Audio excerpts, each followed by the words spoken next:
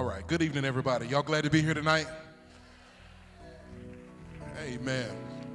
My name is Minister Anthony Christian. I serve as the Director of Worship here at Bates Memorial, and I just want to take this time on behalf of our pastor, the Reverend Dr. F. Bruce Williams, our First Lady, Dr. Michelle Williams, and the entire Bates Memorial family to welcome you to Bates Memorial. We're so glad that you chose Bates and we're so glad to host you on tonight. I'm going to invite you to stand to your feet. We're just going to sing a song of praise to open the night. And we ask that you would join in with us if this is a familiar song with you. Amen. Amen. Come on, talk back to me. it's all right to put your hands together.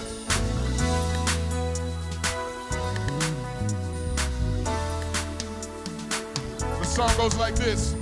Lord, you are good and your mercy endures forever. Lord, you are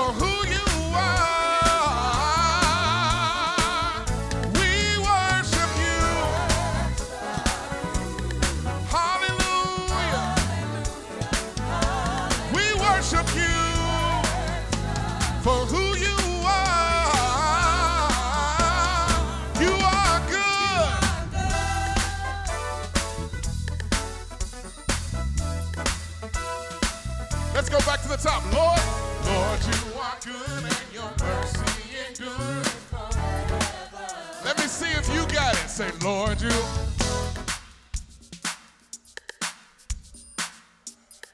I think you got it. Come on, let's put it together. Here we go. Lord, you are good and your mercy endures forever. Come on, one more time. Say, Lord, you are good.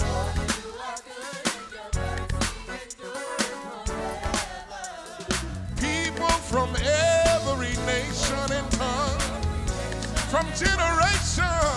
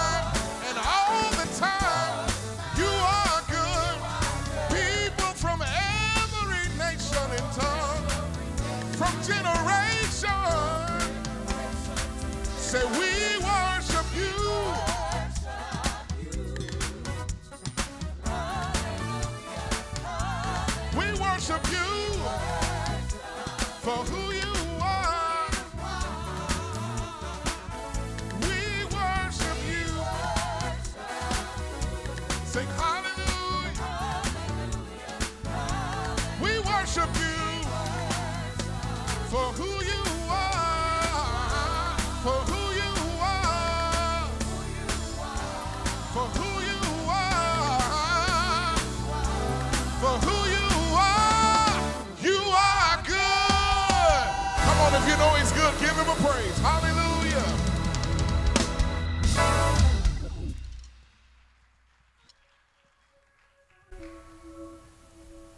Come on, let's give another hand clap.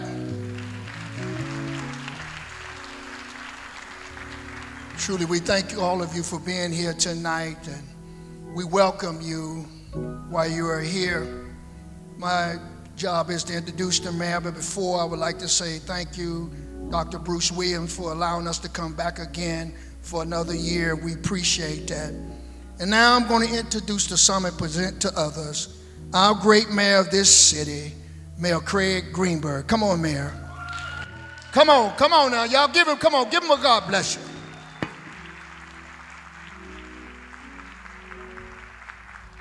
Thank you so much, Superintendent Horton, and what an amazing way to kick off this evening. Thank you so much to the wonderful choir, the Reverend Dr. Bruce Williams. Thank you for hosting us, to you and your entire Bates Memorial family. Thank you so much for hosting us again for this very special evening. Thanks to Paul Callanan and our entire Office of Safe and Healthy Neighborhoods team for sponsoring this event and for the work that you and your colleagues at Ocean do every day of the year working to prevent violent crime from happening in our city. And thanks to everyone for joining us here tonight. This night of remembrance is an unfortunate event, but an important event that we have each year. You know, I wish I was starting off with New Year's greetings, but unfortunately, we're gathered here tonight for New Year's sorrow. And I am so sorry. I am so sorry to each of you who are here tonight because you lost someone who you cared about last year or in a previous year.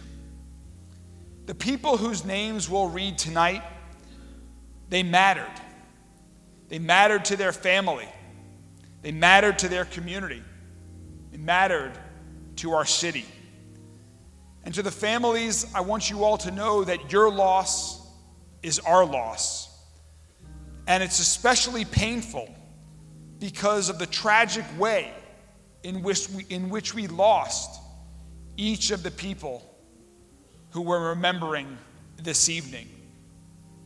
Put simply, we lose far too many people in our city to gun violence far, far too many. I'm a survivor of gun violence myself.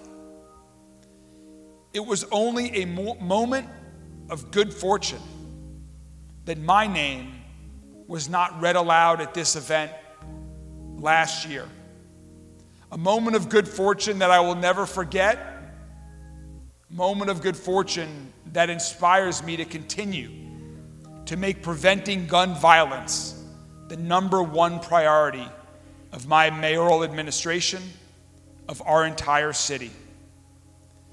And tonight, the name of one of my close friends will be read aloud because he was a victim of gun violence last year in the Old National Bank shooting.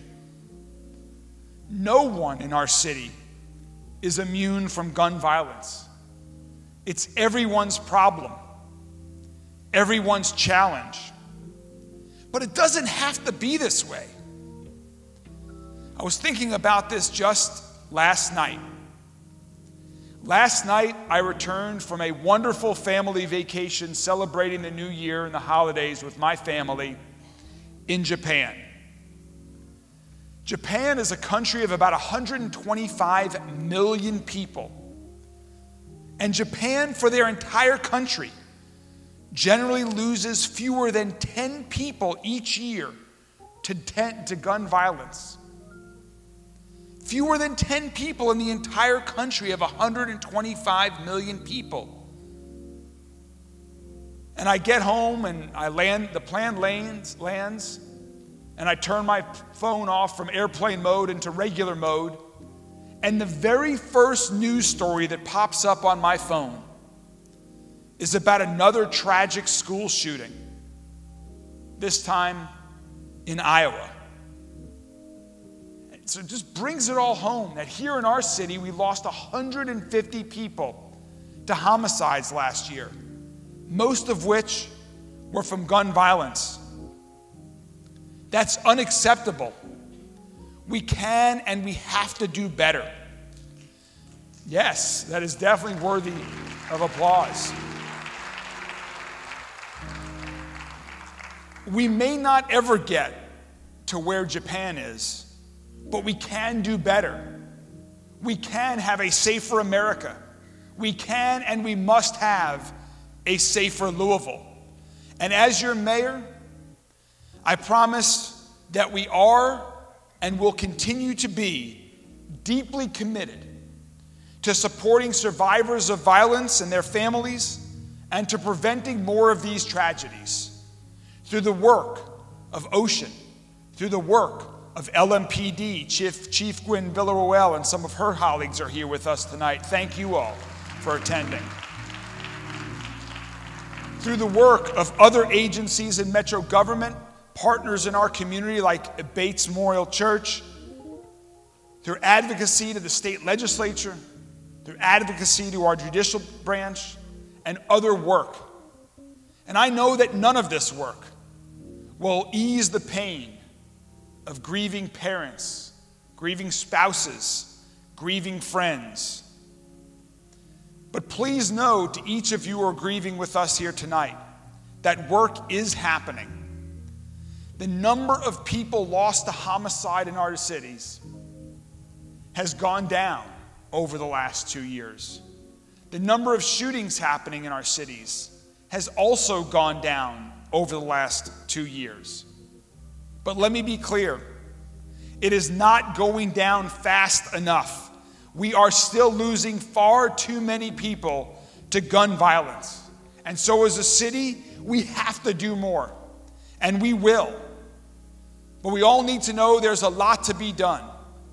So, we need the help of everyone in this room and many more rooms like this to do this work together. Right now, the chief and I were just talking about this today.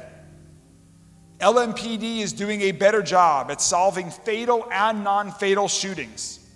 So families like yours can have some closure and some justice. But there is a lot more work to be done.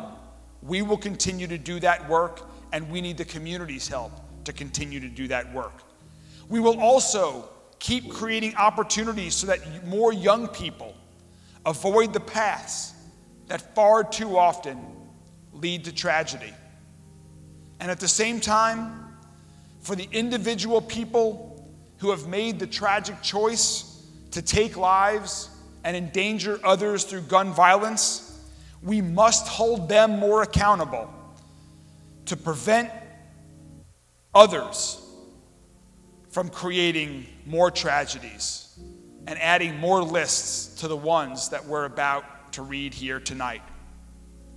This is all part of what we have to do to reduce the amount of gun violence in our city. And we need your help to do this. We also have to continue to provide more access to resources like trauma care to people who are coping with the impacts of gun violence.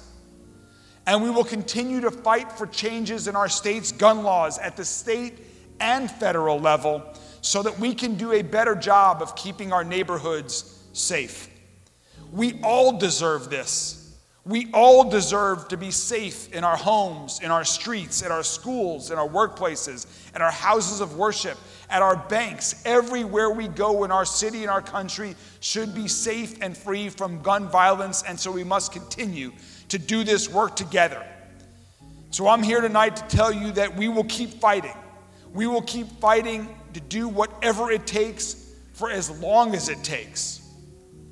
And that fighting, that advocacy, is one of the ways that we honor those who we've lost to gun violence by working to prevent that violence from happening in the future. And I know many of you are already doing this important work. Folks like our good friends at Moms Demand Action, thank you for everything that you all do. And thanks to everyone else, yes. And thanks to everyone else who is doing similar good work across the city. And to those who are here tonight morning and have not been involved in advocacy, I encourage you to join us. Join us in making our city safer, stronger, and healthier. I know that this work will not bring back your loved one, but hopefully through this work, we can prevent other families from experiencing the pain and grief that each of you are feeling, that each of you are dealing with. So that over time, the group of families who are gathering for this night of remembrance shrinks, and that we have the opportunity to have more and more nights of celebration where we can celebrate love in our city, where we can celebrate support, where we can celebrate progress made to end this public health epidemic of gun violence that is plaguing our city. So, thank you all for joining us here tonight. My condolences to those who have lost loved ones over the past year or years in past. But please know that we will continue working in their memory. And may the memory of each loved one who you have lost continue to be a blessing. Thank you all very much.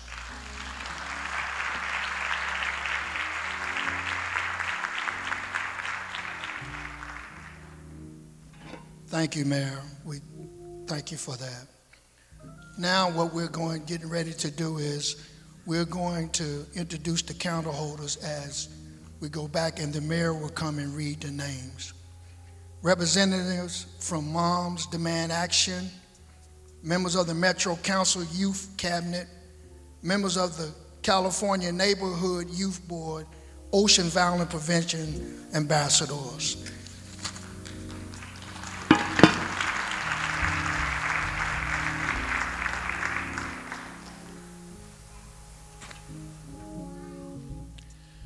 Reginald Spate,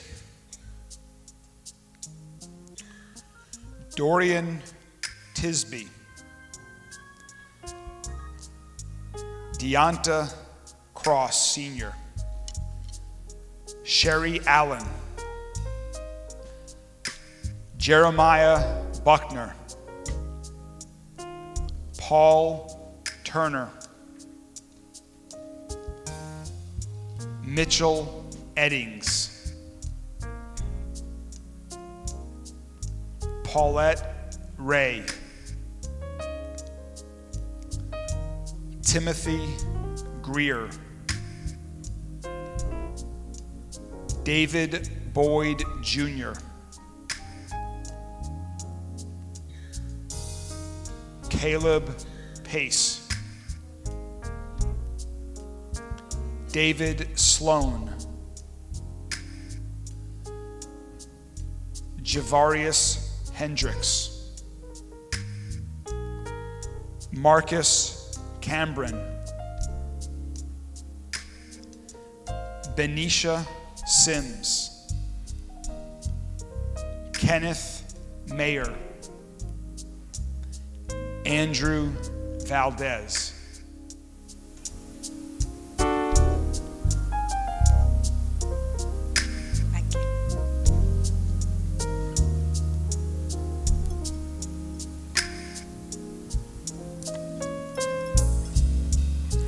Monte Robinson. Mark Lucas. Zashay Imani Te Tawan. Christopher Adams. John Taylor Jr. Alonzo Palmer IV. Sapphire Atia. Natasha Turner. Dariante Coleman. Carlos Victoria Valdez. Jennifer McDermott. Terrence Montgomery. And Tavius Roberts. George Sled. Haley Meters. Eric King Jr.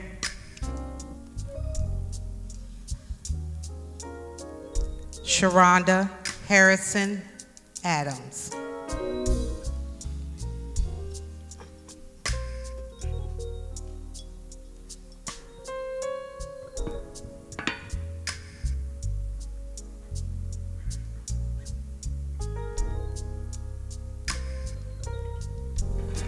Good evening. I'm uh, Pastor Williams. I pastor here at Bates Memorial Baptist Church, and I just wanted to, first of all, let you know how honored we are to host this moment. One of the greatest gifts that God has given us is the gift of the mind. And part of that gift is the gift of memory to be able to take slices and slivers and parts and pieces of memory and remember them, put them back together of portraits of days gone by. Someone has said that memory is to the mind what an attic is to an old house. In old houses, there were huge attics, and it was in the attic that we would store items and trinkets and photo albums so that we could every now and then climb up in the attic and relive days gone by.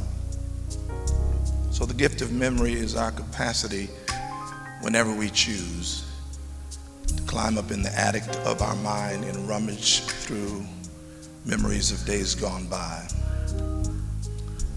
Tonight we're here to remember We're here to remember those who have been taken by violence. And we're here to gather collectively to support one another, to grieve, and to encourage one another. That we will do all that we can to make sure that this does not continue. And it is so fitting that all of us with so many diverse backgrounds, would all collectively come together because the truth is that no one person or group can address this issue of violence alone. It takes all of us. Sometimes it feels like we're separated, but the truth is that we're all connected, we're all together. John Donne says, No man is an island, every man is a piece of the continent, a part of the main.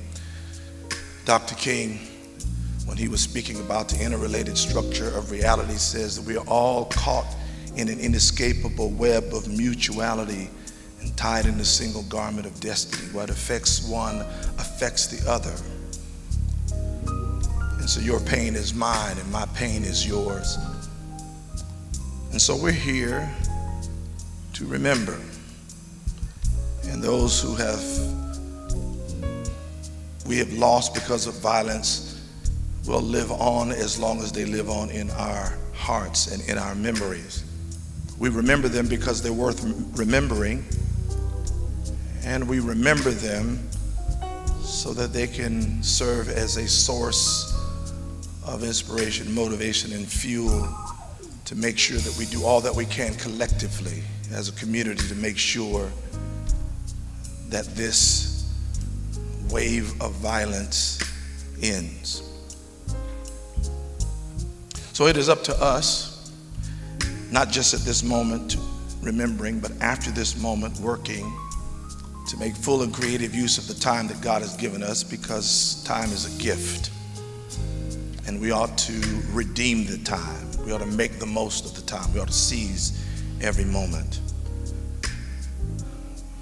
Our prayer here for from Bates Memorial to all who have been victimized by violence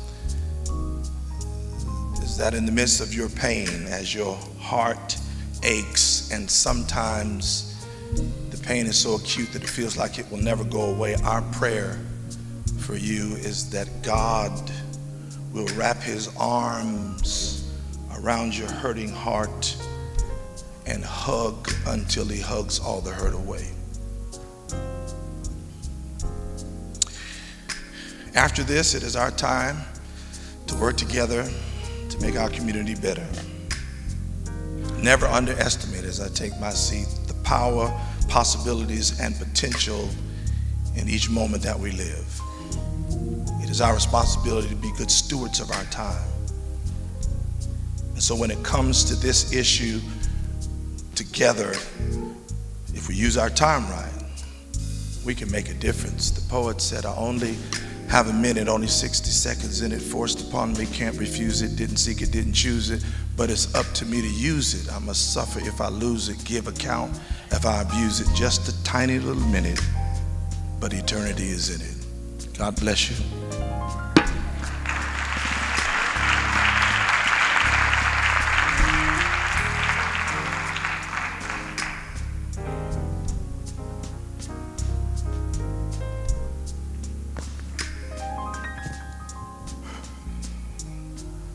Jaquan Slaughter Jr.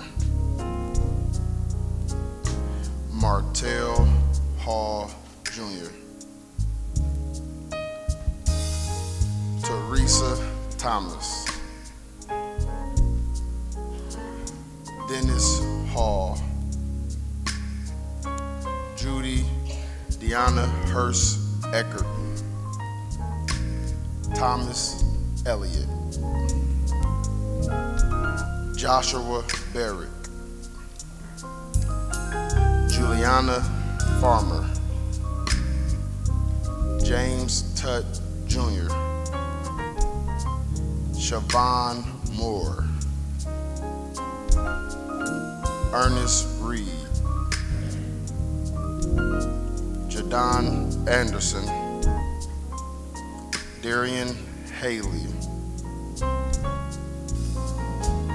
Jamal Malone, Elijah Wade, Deasia Goodman, David Huff.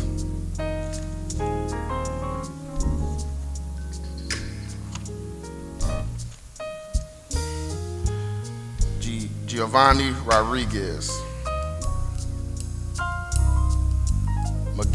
Ricardo, Carl Hertzlog,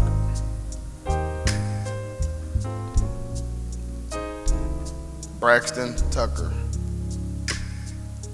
Nicholas Lyon, Negan Clifford Mills, Brandon Krask, Kieron Davis, Christopher Mays, Crystal Floats.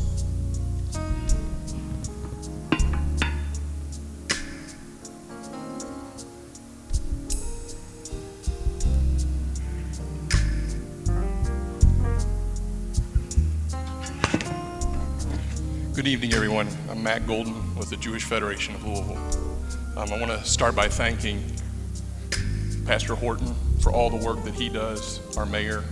Uh, but I especially want to thank tonight the Office of Safe and Healthy Neighborhoods, who is doing the most essential work that our community can do. And especially Javon Brown, who partners with us and our youth in the Jewish Federation of Louisville today. Uh, for a brief period of my life, Ocean was essential. I want to touch on something that Pastor Williams said tonight about memory and the importance of memory. I'm here with you to remember the 150 people that died in our midst, in our community. My people have a saying about those that died, Zichronon Labracha, and it comes from Proverbs, and it means that our loved one's memory should be a blessing to us. The lives they lived, the loves that they had, and the people whose lives they brought meaning, their memory should be a gift. But may their memory be a blessing is more than that. It's more than just the thoughts of loved ones to sustain us through our grief. We believe the gift of memory is a reference to the continued blessing of and from the deceased herself, the future blessing that the whole world will derive, the positive outcome of which continues to inure to us the collected legacy of their deaths. So in the Bible, when we are commanded to remember, it always comes with the command to take action. We remember the Sabbath and we keep it holy. We remember the time in slavery so we don't enslave others. Remembrance is not passive, it is not inward. Remembrance is a blessing that requires that we write the people that we lost in our hearts and we do something we must act. So the act of remembering the lives that we have lost compels us to take action. The blessing comes with what we do with the memory of their lives. But I'll tell you, in the context of violence, it doesn't feel like a blessing, does it? A woman named Rachel Stomel wrote, The customary words ring out of place to us. There's nothing blessed about the way these lives were ripped from us their memorial calls for identifying and confronting the deep seated conditions that gave rise to their murders, deliberately dismantling them, and then generating active justice. So Stomel did something that doesn't happen very often in Judaism. She changed the words. She said, Yehi zichrach mapecha. May her memory be a revolution. She said, for memory to mean anything, it must be active and it must be revolutionary. So I am so sorry the loss in this room is palpable. I'm so sorry for your all's loss and those that we hold dear to us. But I'll say again, may the memory of those that we lost be a blessing. May the memory of those that we lost be a revolution. Thank you.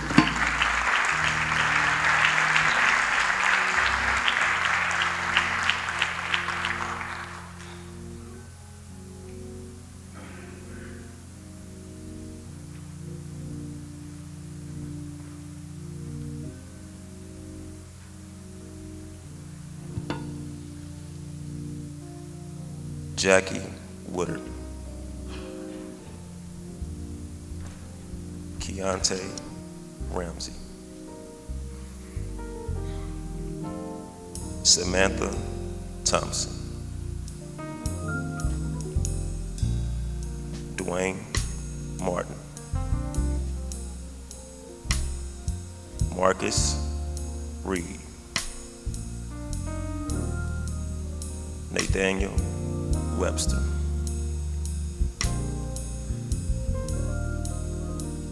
Jacory Harris Jr.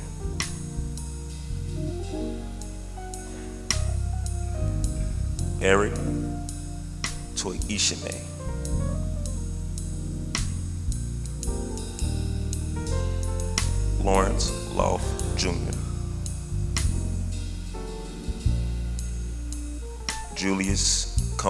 Coleman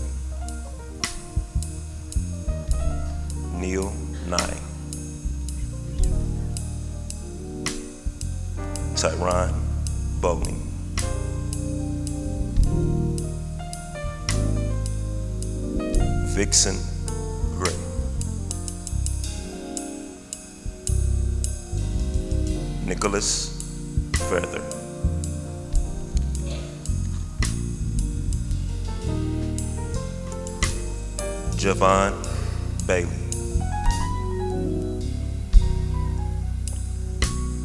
Jason Stormbringer. Deontay Alexander.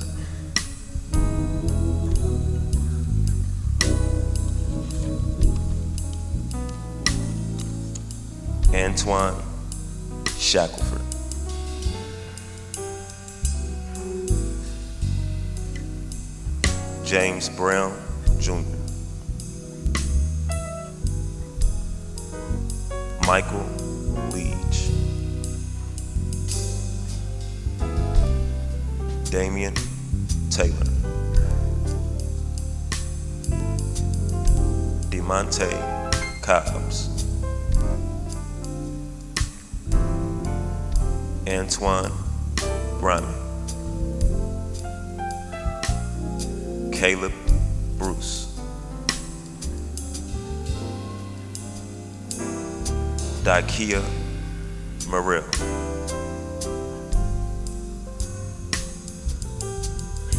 Rayshawn Holloway. Troy Young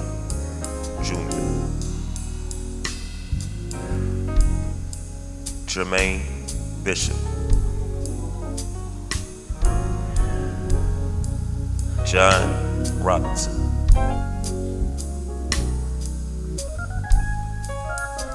Latia Greenwell.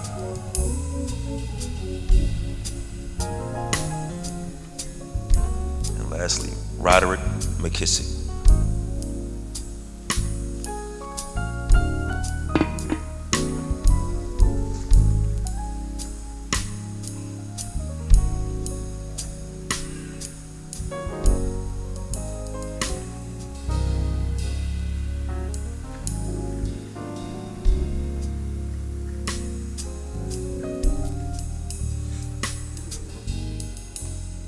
Good evening. I also greet all of our honored leaders and guests and all of you here this evening.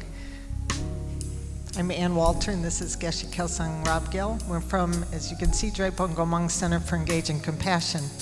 And in 2016, we started a little project called Louisville's Arms of Compassion because we felt the loss in our community. And we started this almost weekly gathering to remember by name those who had been killed. And although we don't know most of those who have been murdered, we remember them every week. And in 2023, we met 44 times. We remember by name and we recommit to nonviolence.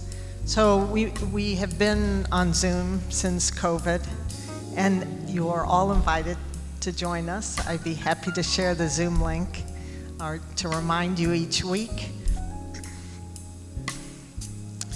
And not only do we remember by name, but we also recommit to nonviolence. We take a pledge of nonviolence. And so, step by step, we're transforming our own hearts, and step by step, we believe we're transforming the community. So, thank you, and Geshe Rabye.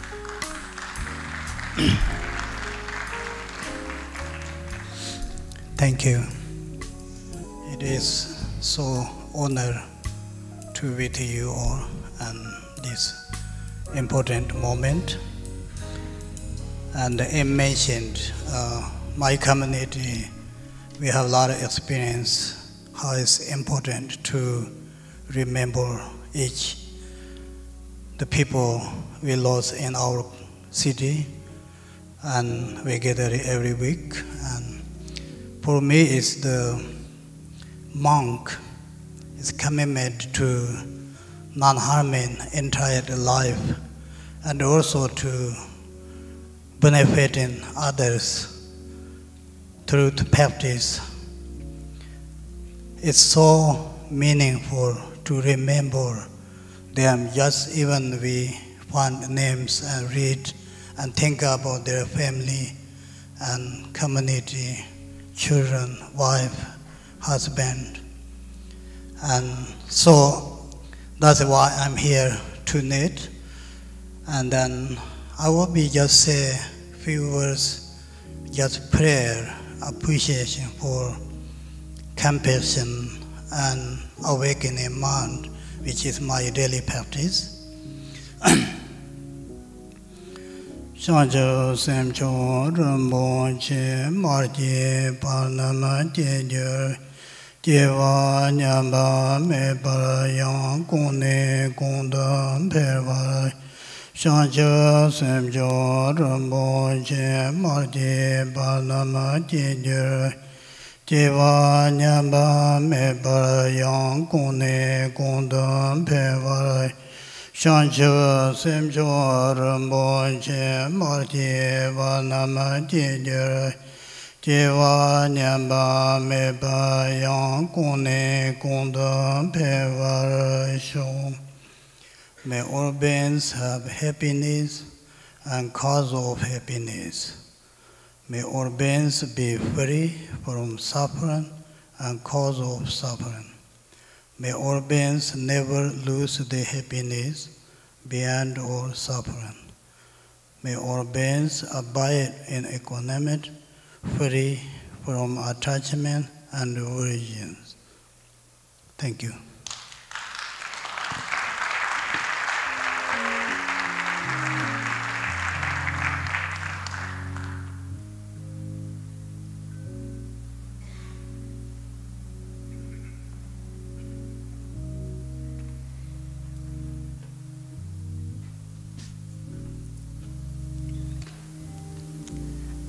Amanda Miller. Jeffrey Bizzle. Victor Chavez. William Hines. Amani De Jesus. Tommy Slaughter Sr., Charles Evans Jr., Lonnie Love Jr., Christopher Fuentes, Andreas Joseph, Derwin Morgan, William Grant, Gwendolyn Smith, Ashley Yates, Tamika Hunt, Alonzo Hearn Jr., Moselle Johnson Jr.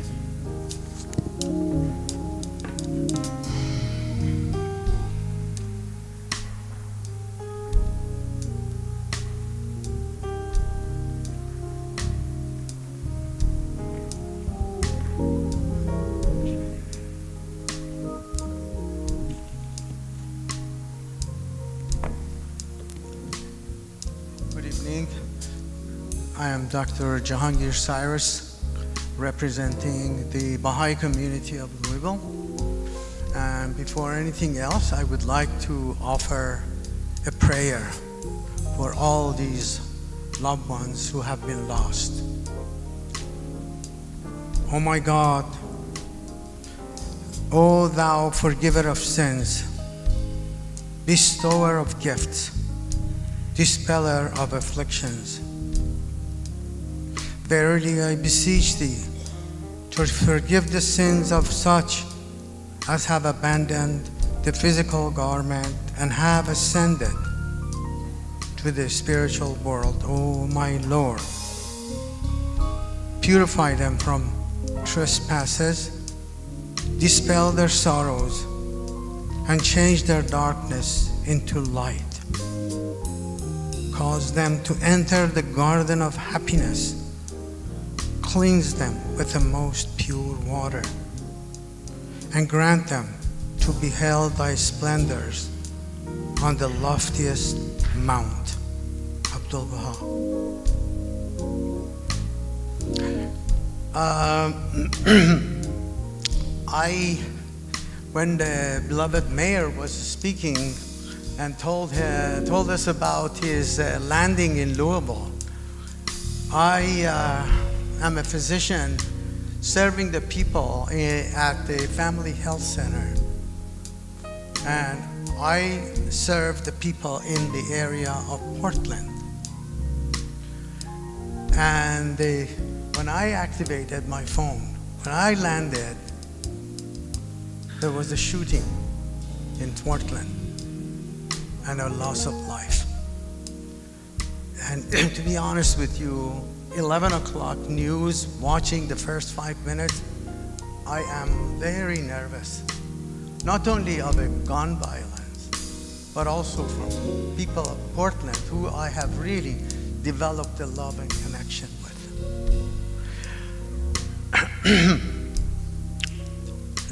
The- from a Baha'i point of view, we all were created to be noble.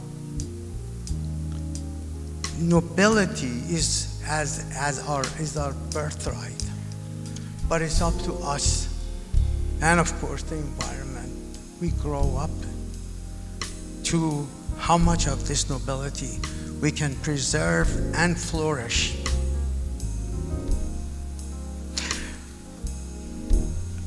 I like to expand our vision even beyond gun violence. Let's assume if we completely dealt with gun violence, to me, there are people who are slowly dying of other forms of violence and abuse.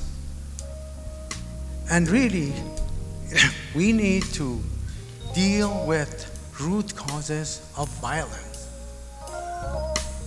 If we uh, study the root causes of violence, among them are influence of peers on the person, having lack of attention or respect, having low self-worth or self-esteem, experiencing abuse and neglect in previous years, witnessing violence at home, community or media,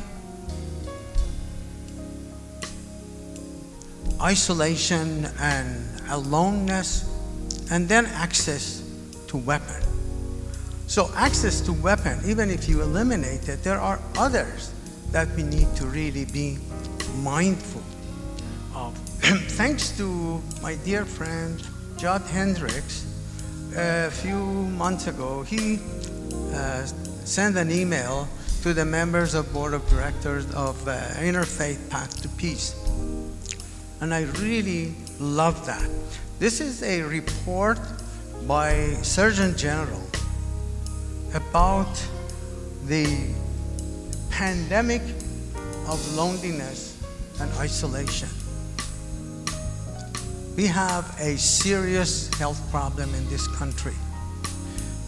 And it opens with this phrase our relationship and interactions with family, friends, colleagues, and neighbors are just some of what creates social connection.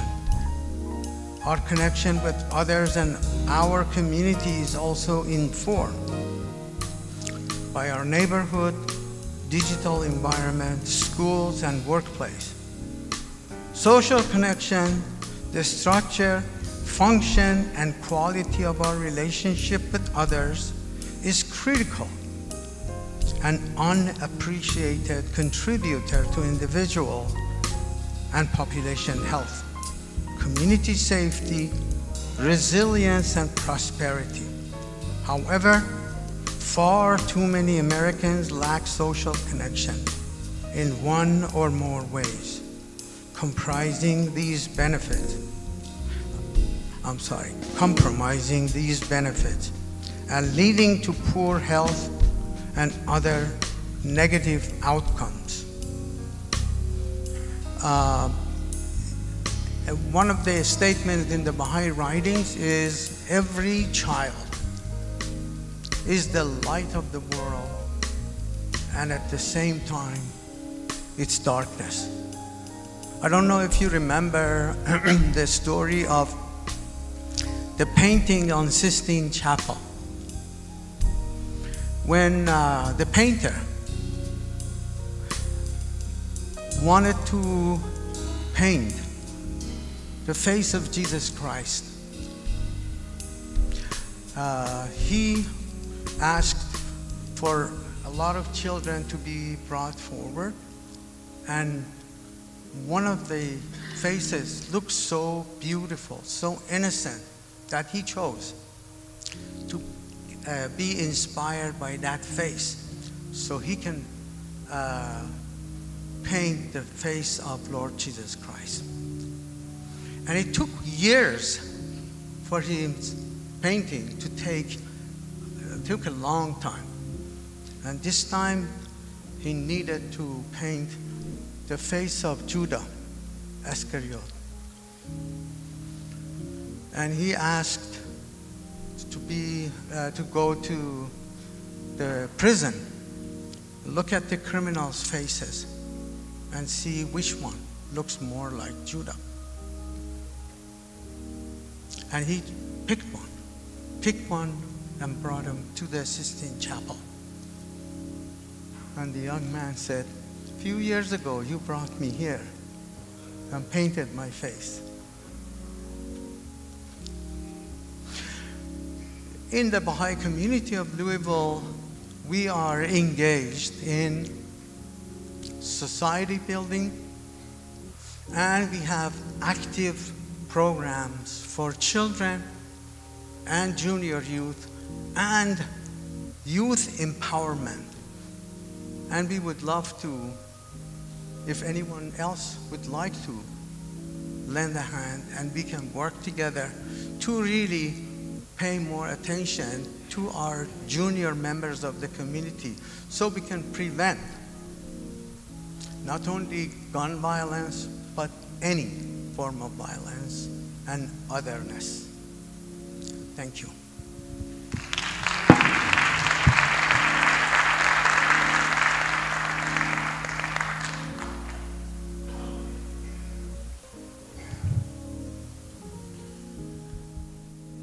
Naoric Curry. Tran Jackson Jr. Bernard Cochran. John Poteet Jr. Joshua Davidson. Mikkel Coleman. Christopher Salmon. Ricky Kemp. Sean Gray. Martha Perez Silva. Zonte Holbrook. Jeremy Floyd. Therese Curtin. Breasia Walker. Antoine Wallace. Jerron Miles. Travon Lowe.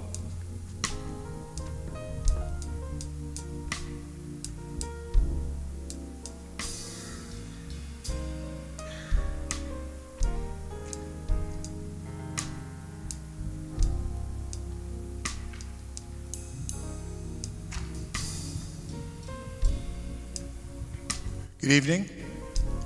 I'm Reverend Anthony Chandler. I'm the rector of the Catholic Cathedral of the Assumption on Fifth Street.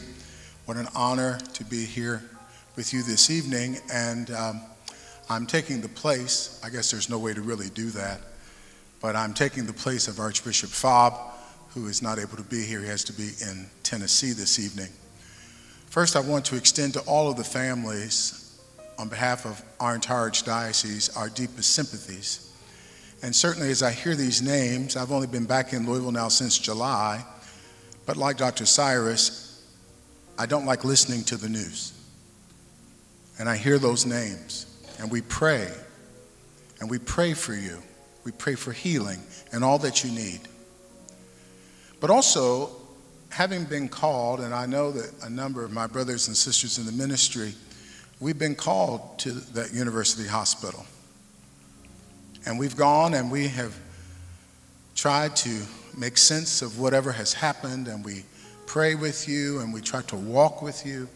So, in a special way, I pray for my brothers and sisters in the ministry who are called to reach out to our brothers and sisters who are hurting. As I look out, though, I, I know there's one word that is very important to me, and I think it is to you, and that's the word of hope. Each of us lives in the expectation of our city being better. Each of us lives in the expectation of a greater respect for life.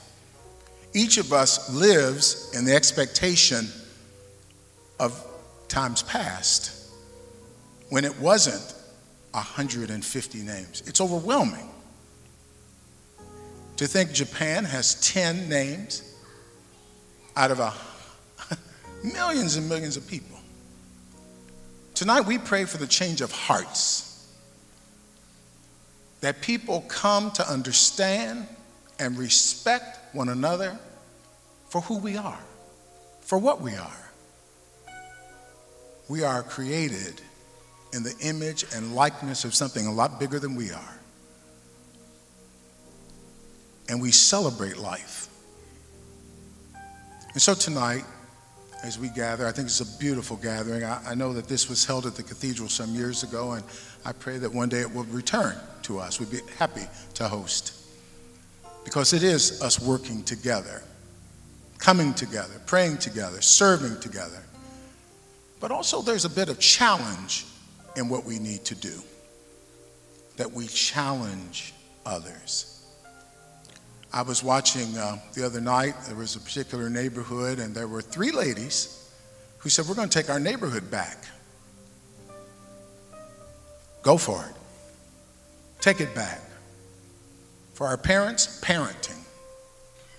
Be strong, teachers. But know that we are praying every day. I now live on South Fifth Street. I'm praying a lot. And just the other night, I'm sitting there, and all of a sudden, my TV room is filled with blue light. Just around the corner, by Metro Corrections, there had been a shooting. I went out. And again, saddened but I still am hope filled that it's going to be better. God bless you.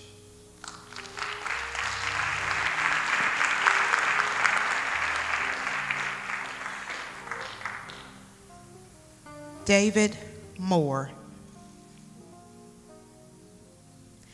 Terrence Mason. Keontae Minor. Kobe Banks Sr. Terrence Betham. Ramel Atkins.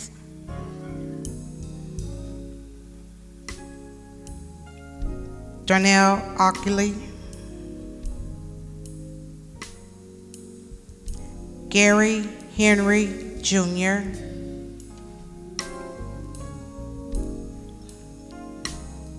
Canal Pate, Trayshawn Franklin Garrett.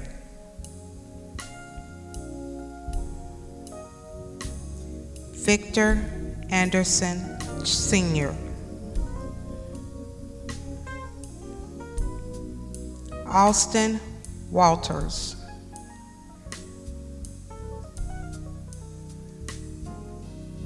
Don Acta Rodriguez Hernandez.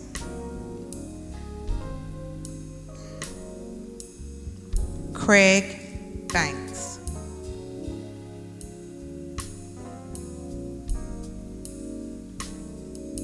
Shakia Mitchell.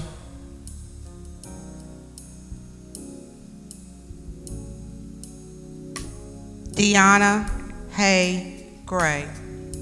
I'm sorry, Deanna Hall Gray, I'm sorry.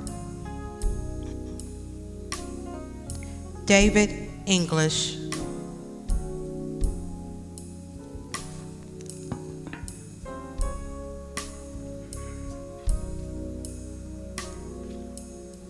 Good evening. My name is Reverend Bruce Beisner, and I serve as the minister of All Peoples Unitarian Universalist Congregation on Brownsboro Road. It is truly an honor and a blessing to be here with you tonight as we remember so many beautiful people together. One of the foundations of my Unitarian Universalist faith is a steadfast affirmation of the inherent worth and dignity of every person. My religion insists that every life is precious. Every person's story needs to be heard, and that no one is ever unworthy of our respect and our compassion. Now, in my congregation, we are a pretty diverse bunch, and we do not promote specific theological ideas about a lot of things. But I think what we hold in common within our religious community, and I think what we share with all of you here tonight, is the pain and the grief that we feel when those we cherish have been taken from us. When violence ends the life of a friend. When despair rips apart the future. And we are left to try to go on, shrouded in loss. I am very pleased that my congregation is dedicated to doing what we can to promote awareness and safety and better laws. This past year, our All Peoples UU congregation has partnered with Moms Demand Action to purchase over 400 gun locks as just a small way to help prevent deaths in our community. But what I believe is every little bit helps. In the spirit of this night of remembrance, I offer you a prayer written by Unitarian Universalist author and activist Leslie Takahashi. In the daily weave of our lives, those who have died are still strong guiding threads. Theirs is the golden glimmer or perhaps the brilliant red, or the melancholy blue. Still, they are a part of the whole fabric of our lives. Through them, we know immortality. In the hour to hour rush of our daily tasks, they still travel with us. Through something they taught us, which is now ours to do. Through something they loved, which is now ours to carry out. Through something we shared, which is now ours alone, and yet not. Through them, we know immortality. In the minute to minute grasp of where we are, we remember the joy they gave us, which opened us up to hope. The sorrows that we knew together, which taught us strength. The life shared, which is now ours to steward. Through them, we know immortality. In the second to second pulse of life, we sense the spirit of those that we have loved and lost.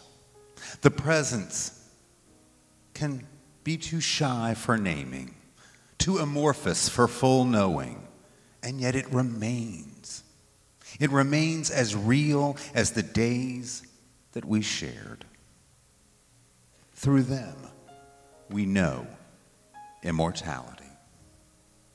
They are more than remembered, they are memory itself. For what we love lives on in the way they accompany us through our life. Their words and wisdom are our guide, their humor, our relief, their restless concern for the world, our charge. Through them, we know immortality. May each and every name uttered tonight, may each person that we mourn renew in us that most sacred of all callings, that calling to respect and protect one another, to heal those that are hurting and have been harmed, and to take action, even small action, to end those cycles of violence that threaten so many among us every day. In the name of all that is holy, in the name of everyone being holy, we pray. Amen. Thank you.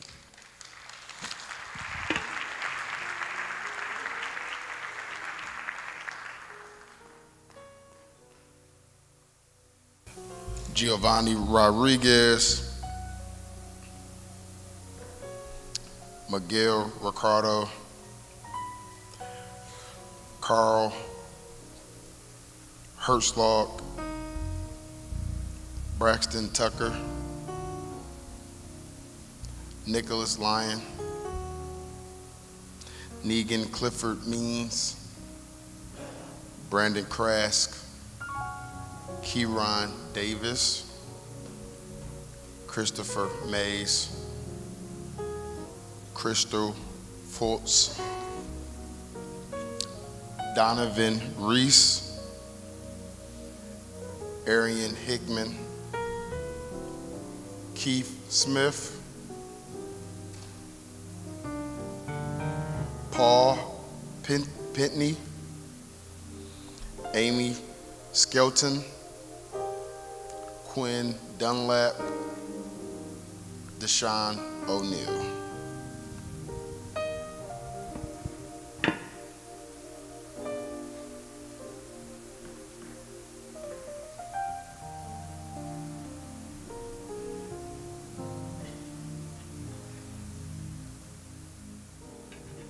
Praise the Lord, everybody.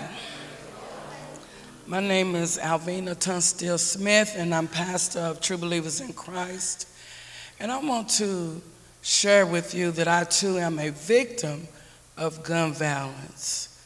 My mother, Jean Tunstall, attended this church, and my father was a pastor for over 30 years. My brother Michael was killed. He was shot in the head and left in the alley.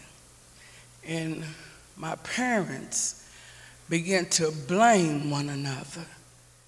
My mother would say, It's your fault, Alvin. You should have taken him with you when you went out of town. And my dad would say, No, Gene, it's your fault. You babied him up too much. You should have got on him more. And they continue to blame one another. And I just stopped back. I, I want you to know that don't waste your time blaming one another. Don't tear yourself down on what you could have done and you should have done. Take this time. God has given you other children. And whatever it is that you feel like you should have done and could have done and didn't do, pour it into those other children. Help them get right. That's what we need to do. Don't keep blaming nobody. Don't even blame the one that took your loved one. We got to learn how to forgive and pray for them. And that's not easy because my little great grandson was killed at the hand of his own father. 33 days old. His dad was playing a video game and got angry. And you know what he did when he got angry? He slammed that child down on a concrete floor. And that child died. And little Breasia, right here in this paper, saw her grow up. And the parents are tearing one another apart with, it's your fault. It's your fault. I come to ask you take the time that you have and pour Christ into your loved ones. It don't have to just be your children and your grandchildren. Whoever's around you, pour some love in. Amen.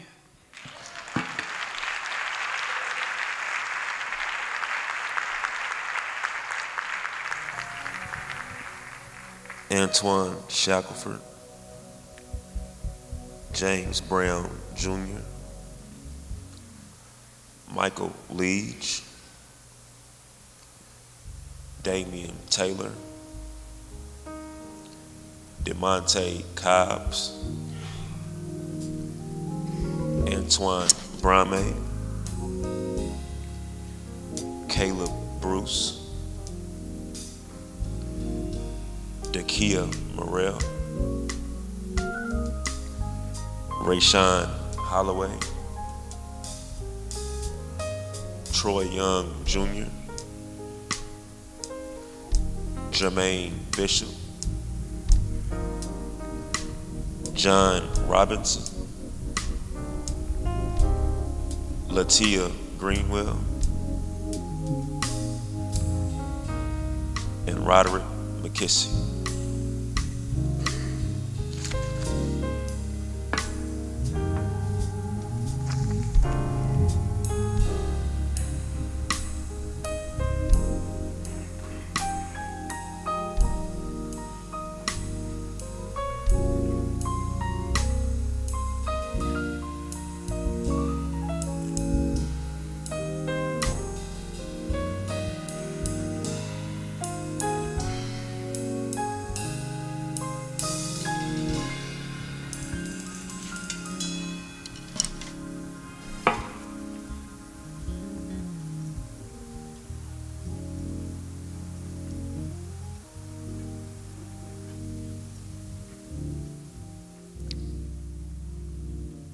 This is a uh, very bittersweet time um, as I come to you all and speak. I am a victim of gun violence. I'm a mother.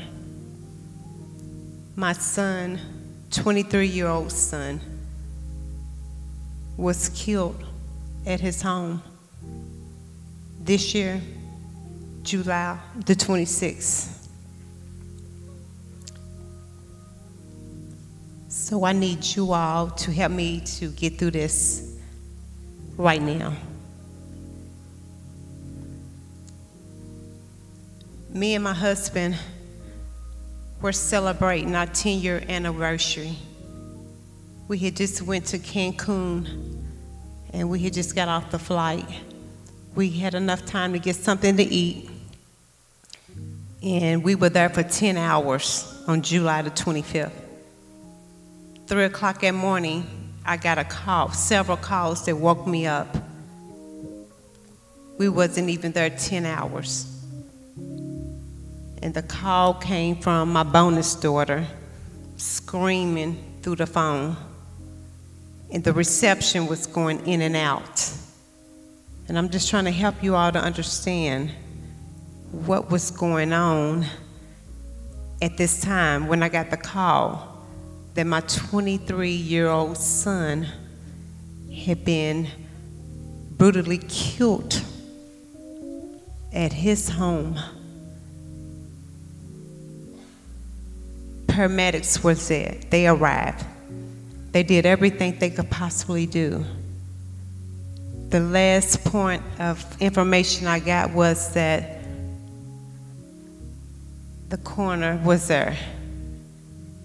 And they said, ma'am,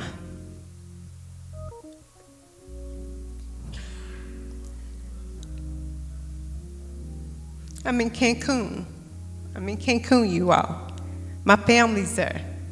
Friends are there. I'm not there. In the corner. Pronounce him.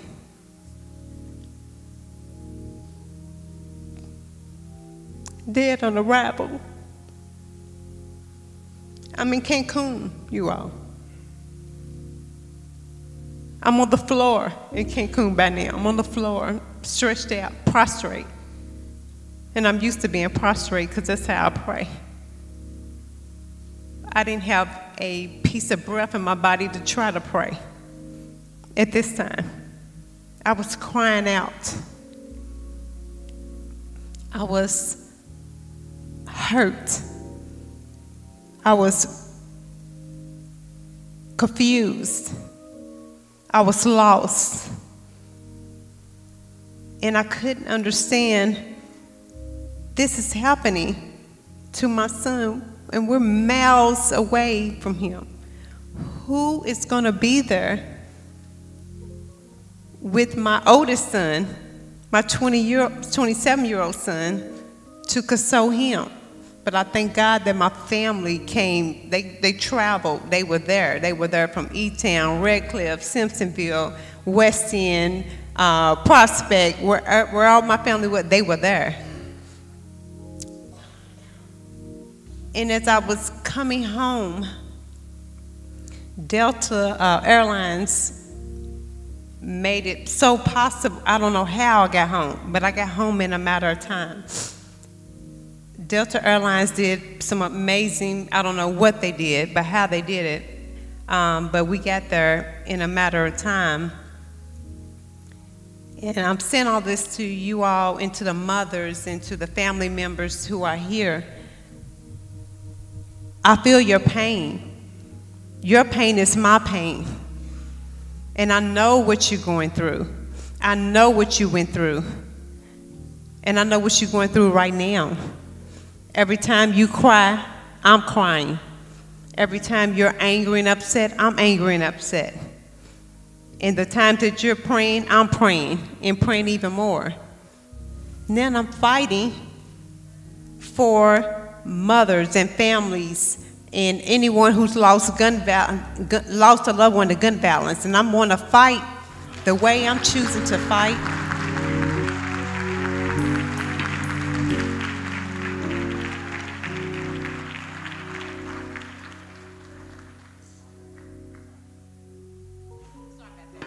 I'm up here for another reason.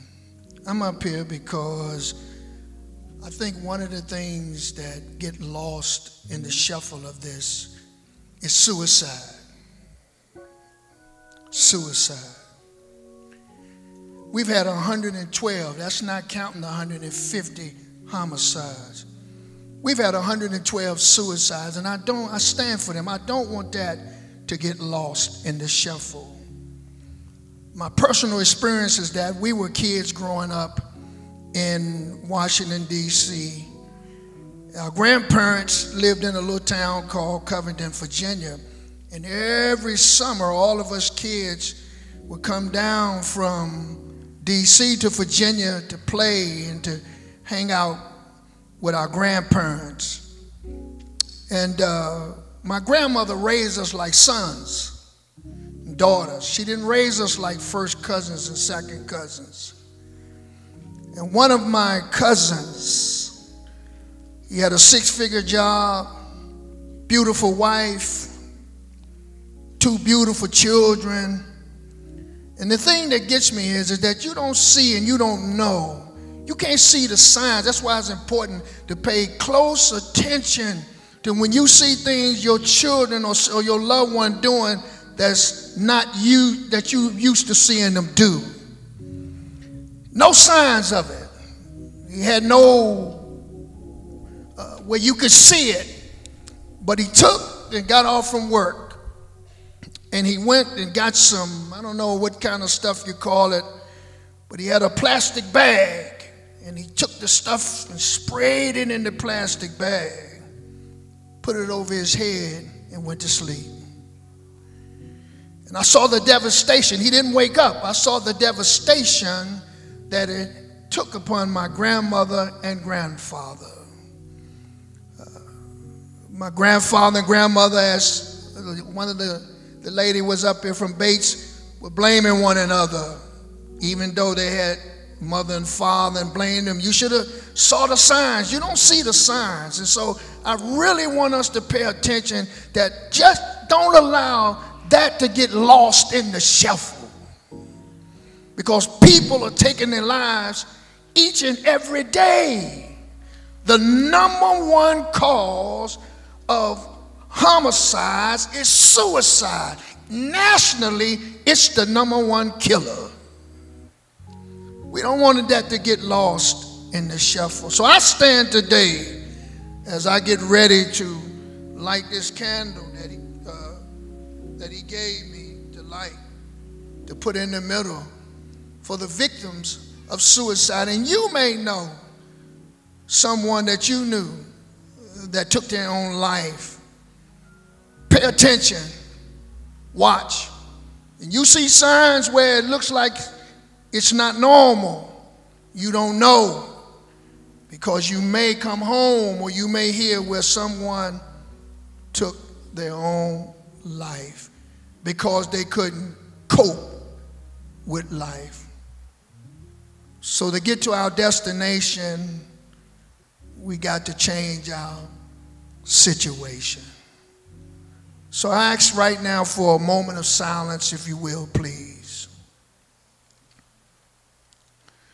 Just to think about what took place tonight.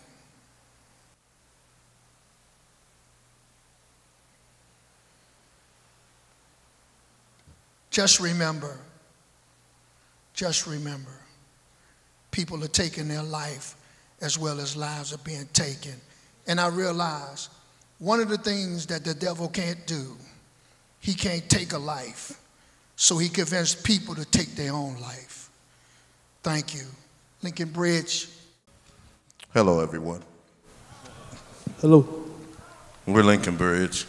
It's an honor to be here, first of all. You know, thank all of you, Pastor Bruce, um, and everybody at attendance, everybody who came and uh, gave their hearts and, and, and, and spoke and, and, and made this made this possible. Uh, you know, my hat off to, to everybody.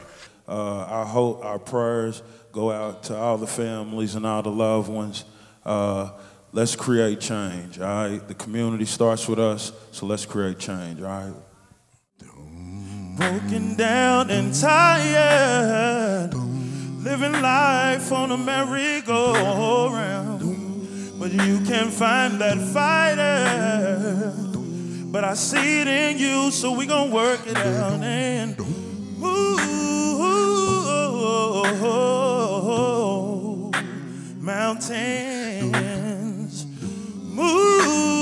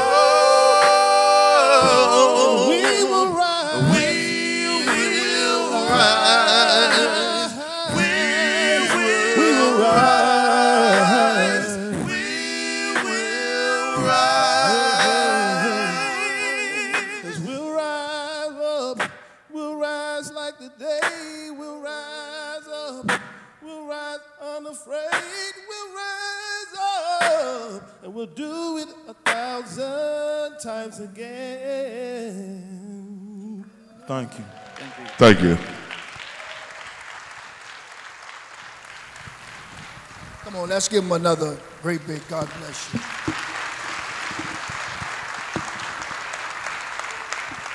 We truly give thanks tonight for all of you that came out. And uh, we sure do want to thank Pastor Dr. Bruce Williams for allowing this to take place. Come on and give him a great big God bless you. We want to thank Joseph of Ocean and all of the volunteers and all of those who uh, lit candles and all the organizations represented. We also want to thank Paul Callahan, who is the director, stand up, Paul, who is the director of Ocean. Thank you, who really puts his heart into this, who really want to see the community become a safe place. Thank God for the LMPD police chief. We thank you, deputy chief. We thank you for coming tonight. God bless you. Stay safe.